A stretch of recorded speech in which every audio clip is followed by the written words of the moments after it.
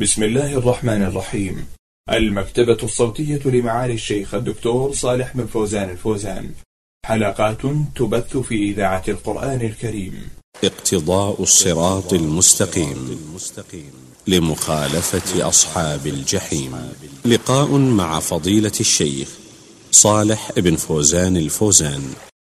الدرس 181 بسم الله الرحمن الرحيم الحمد لله رب العالمين وصلى الله وسلم على نبينا محمد وآله وصحبه أجمعين أيها المستمعون الكرام السلام عليكم ورحمة الله وبركاته وأهلا وسهلا بكم إلى حلقة جديدة في برنامج اقتضاء الصراط المستقيم لمخالفة أصحاب الجحيم لشيخ الإسلام أحمد بن عبد الحليم بن تيمية رحمه الله يشرح الكتاب في هذه الحلقات صاحب الفضيلة الشيخ صالح بن فوزان الفوزان عضو هيئة كبار العلماء وعضو اللجنة الدائمة للإفتاء. في مطلع هذا اللقاء نرحب بشيخنا الكريم حياكم الله شيخ صالح. حياكم الله وبارك فيكم. مضى معنا قول المؤلف عن الرأي الأول في اتخاذ الأماكن التي قام فيها الصالحون مساجد يصلى فيها. قال هنا وأما من كرهه فروى سعيد بن منصور في سننه حدثنا أبو معاوية حدثنا الأعمش عن معرور بن سويد عن عمر رضي الله عنه قال خرجنا معه في حجة حجها فقرأ بنا في الفجر بألم ترى كيف فعل ربك بأصحاب الفيل ولإيلاف قريش في الثانية فلما رجع من حجته رأى الناس ابتدروا المسجد فقال ما هذا؟ قالوا مسجد صلى فيه رسول الله صلى الله عليه وسلم فقال هكذا هلك أهل الكتاب قبلكم اتخذوا آثار أنبيائهم بيعا من عرضت له منكم فيه الصلاة فليصل ومن لم تعرض له الصلاة فليمضي. قال الشيخ رحمه الله فقد كره عمر رضي الله عنه اتخاذ مصلى النبي صلى الله عليه وسلم عيدا وبين أن أهل الكتاب إنما هلكوا بمثل هذا. بسم الله الرحمن الرحيم الحمد لله رب العالمين وصلى الله وسلم على نبينا محمد وعلى آله وأصحابه أجمعين. هذا في موضوع البقاع والأمكنة التي صلى فيها رسول الله صلى الله عليه وسلم. نعم. سواء هل تتخذ مصليات بعده ويقتدى به في ذلك أو لا نعم. ذكر الشيخ فيما سبق أن أن هذا فيه تفصيل أن هذا فيه تفصيل بين المواطن والمواضع التي قصد النبي صلى الله عليه وسلم الصلاة فيها فهذه الصلاة فيها من بعده سنة نعم. اقتداء به صلى الله عليه وسلم. أما المواطن التي صلى فيها اتفاقا ولم يقصد الصلاة فيها بذاتها وإنما صلى فيها لأنها أدركته الصلاة في هذه الأماكن وصلى فيها من غير قصد لها. فهذه لا تتخذ مساجد من بعده. ولا يصلى فيها لأن النبي صلى الله عليه وسلم لم يقصد الصلاة فيها وإنما صلى فيها لأنه أدركته الصلاة فيها. وقد قال صلى الله عليه وسلم أيما جعلت لي الأرض مسجدا وطهورا فأيما مسلم من أدركته الصلاة فعنده مسجده وطهوره.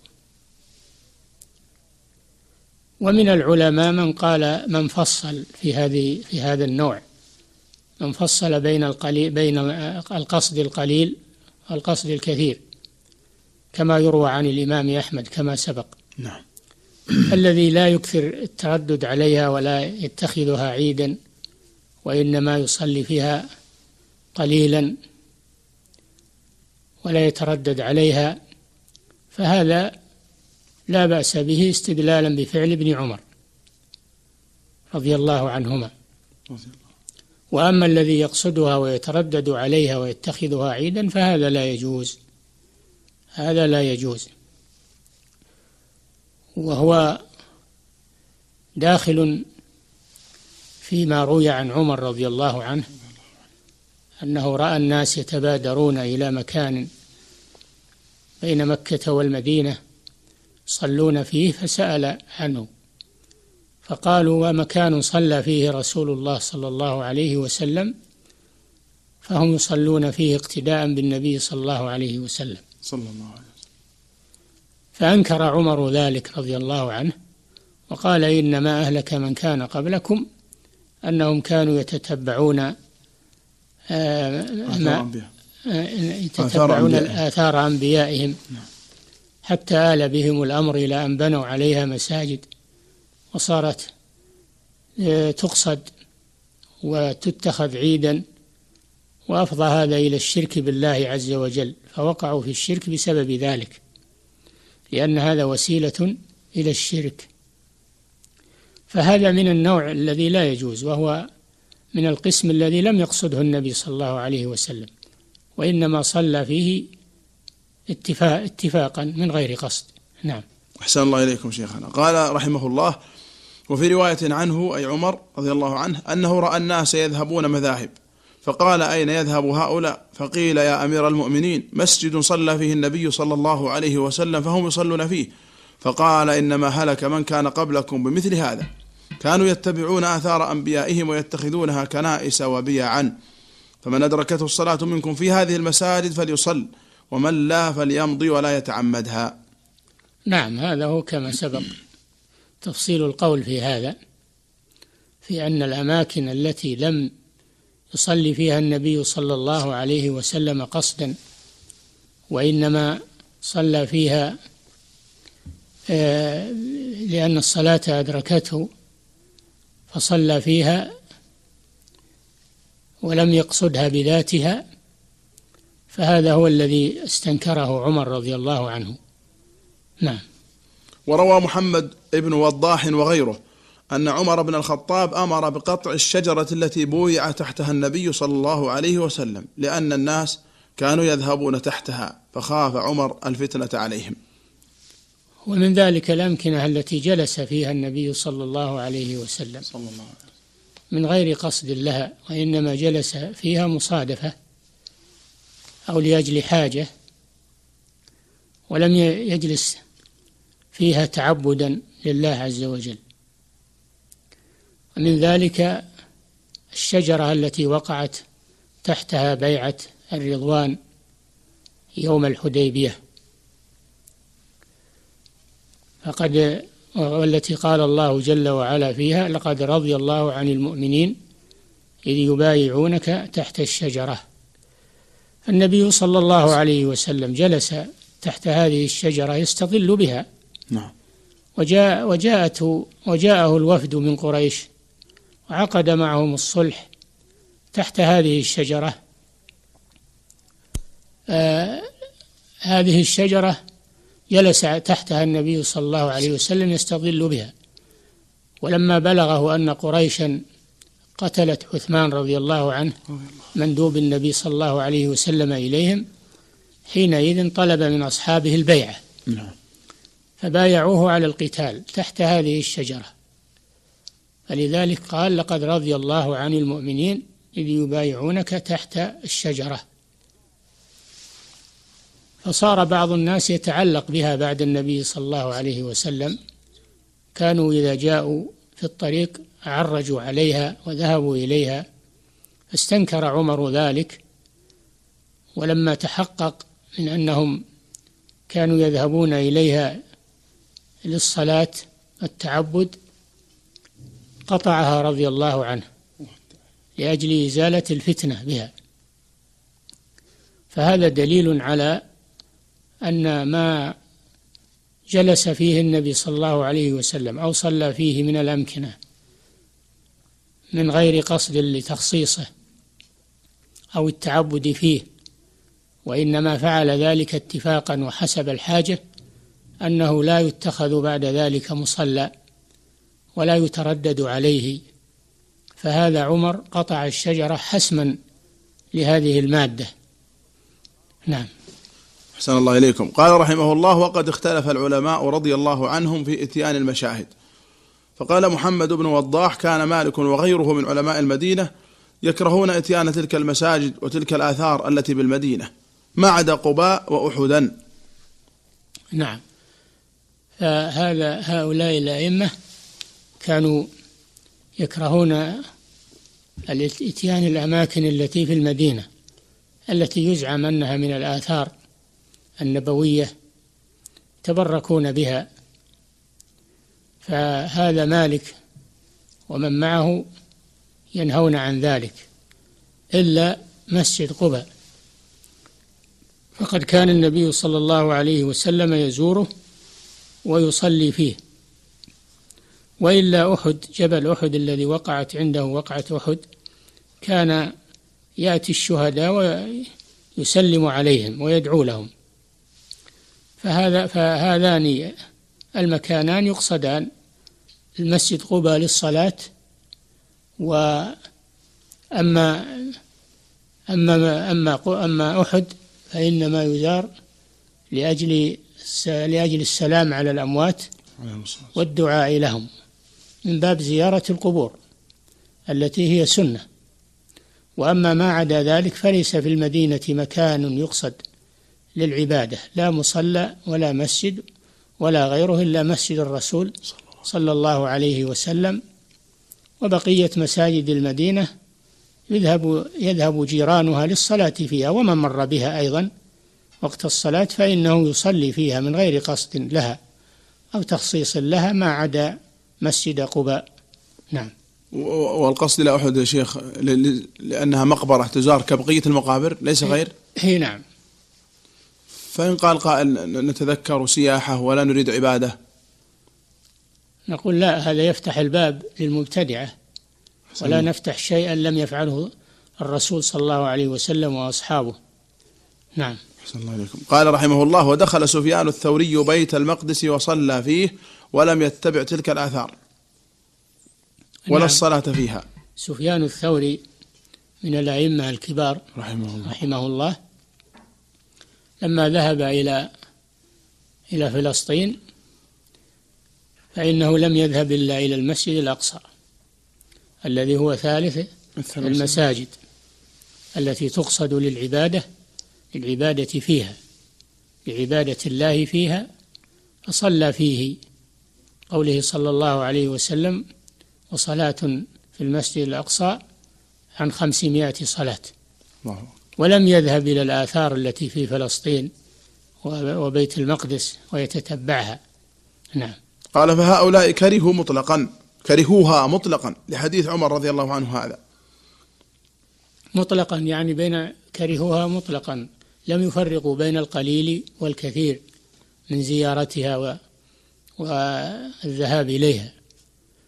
نعم. ولأن ذلك يشبه الصلاة عند المقابر إذ هو ذريعة إلى اتخاذها أعيادا وإلى التشبه بأهل الكتاب. هذا ممنوع لأمرين التردد عليها واعتيادها ممنوع لأمرين. أولا أن هذا فيه أن هذا فيه تشبه بأهل الكتاب قد نهينا عن التشبه بهم فإن أهل الكتاب كانوا يعظمون آثار أنبيائهم ويبنون عليها مساجد. والأمر الثاني أن هذا يشبه الصلاة عند القبور التي جاء النص في النهي عنها لأن هذا وسيلة إلى الشرك. نعم. قال ولأن ما فعله ابن عمر لم يوافقه عليه أحد من الصحابة. فإن احتج أحد بفعل ابن عمر رضي الله عنهما فالجواب عنه من وجهين.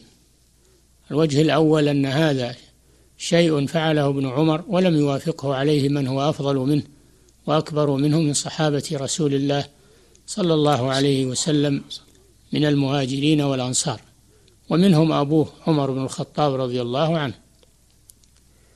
والأمر الثاني أن ابن عمر رضي الله عنه لم يفعل هذا من باب التبرك واتخاذها عيدا وإنما فعله من باب الاقتداء بالنبي صلى الله عليه وسلم. فهو يفعله اقتداء ولا يفعله تبركا وتعبدا خاصا بها ولكنه مع هذا لم يوافق على هذا الشيء. نعم. قال فلم ينقل عن الخلفاء الراشدين ولا غيرهم من المهاجرين ولا أنصار أنه كان يتحرى قصد الأماكن التي نزلها النبي صلى الله عليه وسلم. فيكون هذا فيكون هذا فيه رد على من من من أخذ بفعل ابن عمر. فنقول له أكابر الصحابة من المهاجرين والأنصار لم يفعلوا هذا فدل على أنه لا يجوز. نعم. والصواب مع جمهور الصحابة لأن متابعة النبي صلى الله عليه وسلم تكون بطاعة أمره وتكون في فعله بأن يفعل مثل ما فعل على الوجه الذي فعله.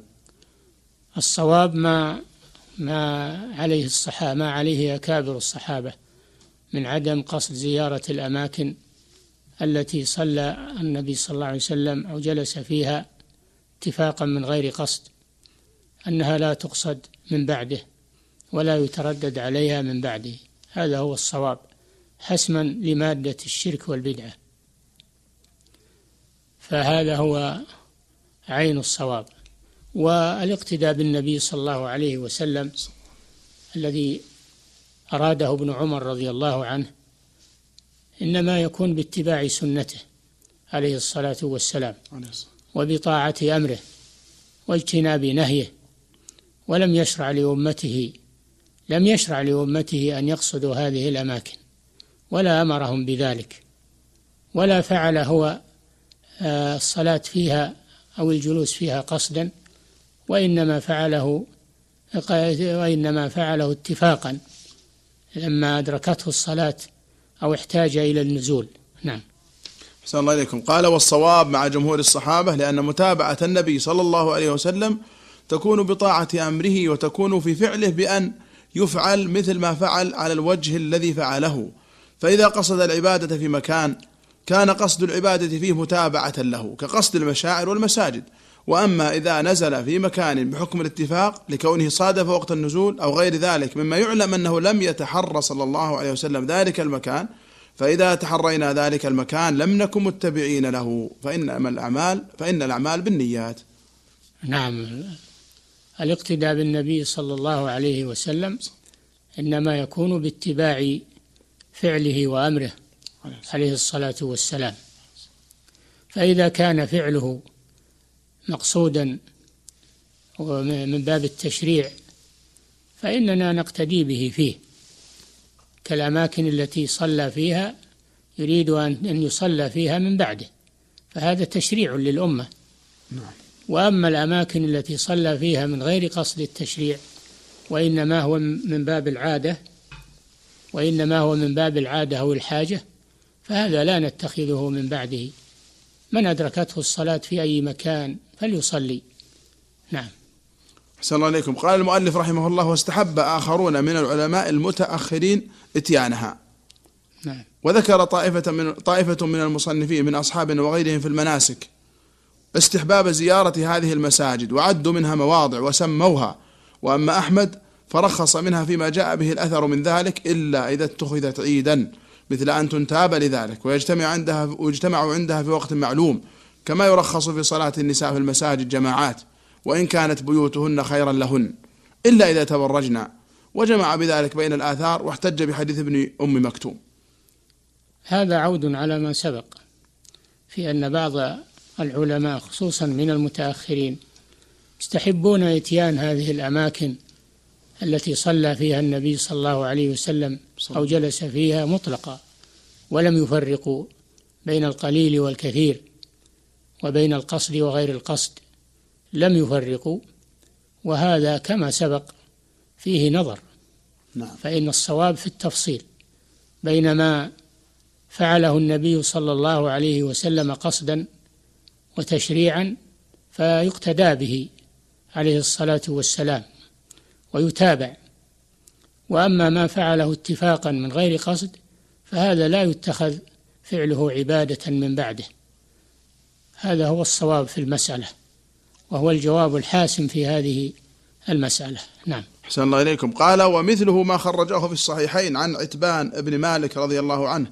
قال كنت أصلي لقوم بني سالم فأتيت النبي صلى الله عليه وسلم فقلت إني أنكرت بصري وإن السيول تحول بيني وبين مسجد قومي فولا فلو وددت أنك جئت فصليت في بيتي مكانا حتى أتخذه مسجدا.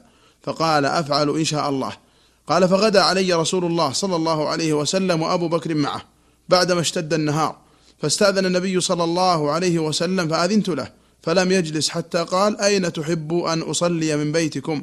فأشرت له إلى المكان الذي أحب الذي أحب أن يصلي فيه. فقام رسول الله صلى الله عليه وسلم فكبر وصففنا وراءه فصلى ركعتين. ثم سلم وسلمنا حين سلم. نعم. ومن ذلك أي من الأماكن التي قصد النبي صلى الله عليه وسلم الصلاة فيها لأجل أن يصلى فيها من بعده ما في حديث حتبان بن مالك رضي الله عنه أنه كان يصلي بقومه بني سالم ثم إنه في آخر أيامه ضعف بصره وصارت السيول تحول بينه وبين مسجد قومه فأراد أن أن يتخذ مصلى له في بيته.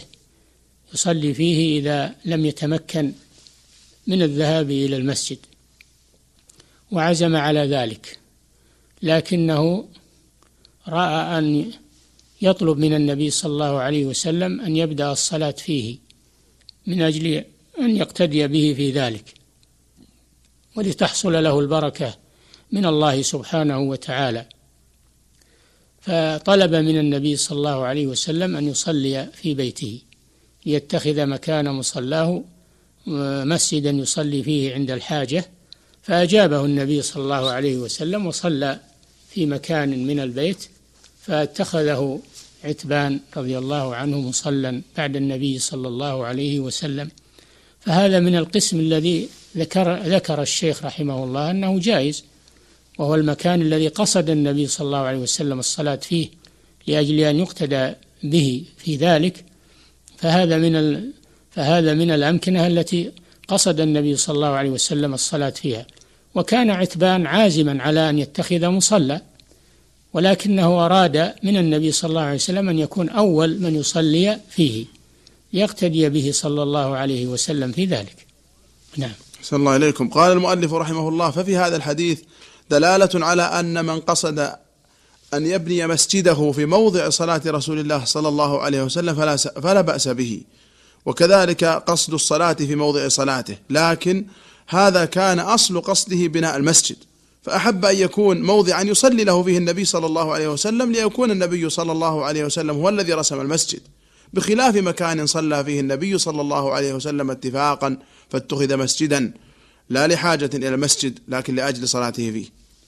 هذا فرق بين الجائز وبين غير الجائز. الجائز هو الذي قصد النبي صلى الله عليه وسلم الصلاة فيه ويقتدى به بعد ذلك فهذا لا بأس به. وأما غير الجائز فهو المكان الذي لم يقصد النبي صلى الله عليه وسلم الصلاة فيه وإنما فعلها إنما فعلها اتفاقا وحسب الحاجة فلا يقتدى به بعد ذلك. ومن الأول ما فعله عتبان رضي الله عنه. فإنه كان عازما على أن يتخذ مصلى في بيته يصلي فيه إذا عجز عن الذهاب إلى المسجد. ولكنه أراد أن يكون أول من يصلي فيه النبي صلى الله عليه وسلم. فهذا هو المقصود. فالرسول قصد ذلك تحقيقا لرغبة عتبان بن مالك وهو قاصد للصلاة فيه. فلا بأس بالاقتداء به في الصلاة في هذا المكان. فإن الرسول صلى الله عليه وسلم إنما فعل ذلك من أجل هذا القصد. نعم. أحسن الله إليكم. قال رحمه الله فأما الأمكنة التي كان النبي صلى الله عليه وسلم يقصد الصلاة أو الدعاء عندها فقصد الصلاة فيها أو الدعاء سنة اقتداء برسول الله صلى الله عليه وسلم واتباعا له. نعم. كما إذا تحرى الصلاة أو الدعاء في وقت من الأوقات. فإن قصد الصلاة أو الدعاء في ذلك الوقت سنة كسائر عباداته وسائر الأفعال التي فعلها على وجه التقرب. قال ومثل هذا ما خرجه في الصحيحين عن يزيد بن أبي عبيد قال كان سلمة بن الأكوع يتحرى الصلاة عند الأسطوانة التي عند المصحف. فقلت له يا أبا مسلم أراك تتحرى الصلاة عند هذه الأسطوانة؟ قال رأيت النبي صلى الله عليه وسلم يتحرى الصلاة عندها. وفي رواية لمسلم عن سلامة بن الأكوع رضي الله عنه أنه كان يتحرى الصلاة موضع المصحف يسبح فيه. وذكر أن رسول الله صلى الله عليه وسلم كان يتحرى ذلك المكان وكان بين المنبر والقبلة قدر ممر الشاه. نعم فالأمكنة التي قصد النبي صلى الله عليه وسلم الصلاة فيها والأزمنة التي قصد النبي صلى الله عليه وسلم الصلاة فيها أو قصد العبادة فيها. فهذه يقتدى بالنبي صلى الله عليه وسلم فيها.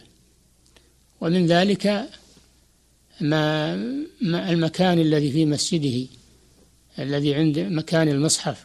كان سلمة بن الأكوع يتحرى الصلاة عنده فسئل عن ذلك فقال إن النبي صلى الله عليه وسلم كان يتحرى الصلاة. كان يتحرى الصلاة يعني يقصد نعم. الصلاة في هذا المكان. فكان يصلي اقتداء به.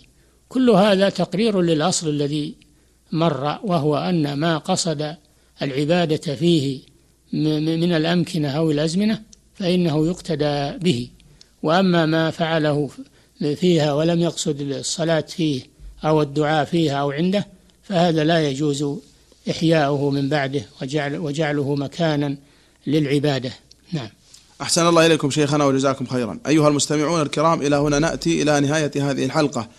من برنامج اقتضاء الصراط المستقيم مخالفة أصحاب الجحيم مع صاحب الفضيلة الشيخ الدكتور صالح بن فوزان الفوزان. شكر الله لشيخنا ما تكرم به من الشرح والبيان وشكر لكم حسن استماعكم ونفعنا وإياكم بما نقول ونسمع. هذه في الختام تحية أخي مهندس الصوت عثمان بن عبد الكريم الجويبر حتى نلقاكم في الحلقة القادمة. على خير إن شاء الله نستودعكم الله والسلام عليكم ورحمة الله وبركاته.